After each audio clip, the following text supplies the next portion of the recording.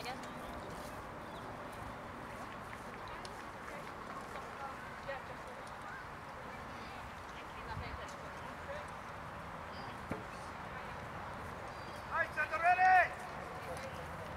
Is this a tall pass?